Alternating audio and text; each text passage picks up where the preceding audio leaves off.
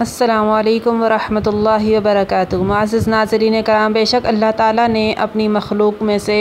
इंसान को तमाम मखलूक़ात पर अशरफुलमखलूक़ात पैदा करते हुए फ़रमाया कि लक़द ख़लक़नल इंसान फ़ी अहसन तक़वीम, कि मैंने इंसान को सबसे बेहतरीन अंदाज़े पर पैदा फरमाया है। लेकिन जब यही इंसान अपनी बदअखलाक़ियों और बदमालियों की वजह से ज़िल्लत की पस्तियों में उतरता है तो अल्लाह ताला फरमाते हैं कि तुम मरदना असफ़ल साफ़िलीन, कि मैंने फिर इसको सबसे निचले दर्जे पर भी पहुँचा दिया। तो बिला तख़ीर के मैं आपको दिखाती हूँ वीडियो उन बदबख्त लोगों की कि जिन्होंने अपनी बदामालियों और सरकशी के ज़रिए से अल्लाह ताला के गैज़ गज़ब को ललकारा यहाँ तक कि वो इसमें मुबतला हो गए। ज़र ज़र आप उस वीडियो में को देख रहे हैं जिसमें दो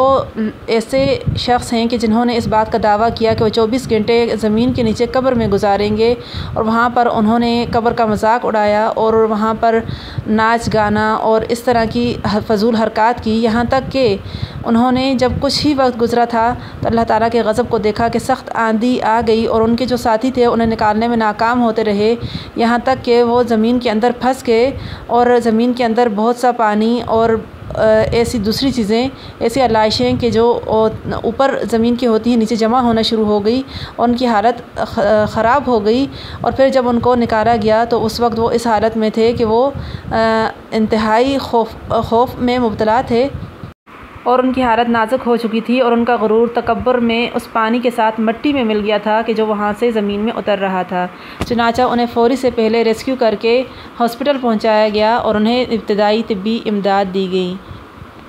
और ऐसा बारहा बार देखने में आया कि जब किसी फासिक, फाजिर या मशरक शख्स ने अल्लाह ताला की कुदरत को ललकारा और चैलेंज किया तो अपने इस चैलेंज में ऐसा फंसा कि दुनिया के लिए इबरत का निशान बन गया। ऐसे ही ये दो शख्स भी अल्लाह ताला को और उसकी कुदरत को चैलेंज करने के बाद दुनिया के लिए इबरत का निशान बन गए और आजकल ये सोशल नेटवर्क पर ट्रेंड बन चुके हैं और उनकी वीडियो तेज़ी से सोशल नेटवर्क पर वायरल हो रही है। आप उन वीडियो में देख सकते हैं कि किस हालत में उनको हॉस्पिटल में लाया गया था। चनाचा अल्लाह ताला का खौफ कीजिए और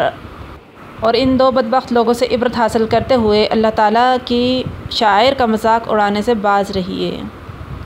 क्योंकि जब कोई शख्स अल्लाह ताला की कुदरत को चैलेंज करता है और अल्लाह ताला के गैज़ गज़ब को ललकारता है तो ज़मीन और आसमान का ज़र्रा ज़रा यहाँ तक कि हवा, पानी भी उसकी मुखालिफ हो जाती है।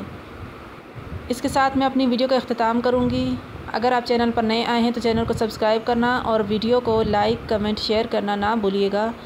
थैंक्स फॉर वॉचिंग जजाकल्ला खैरन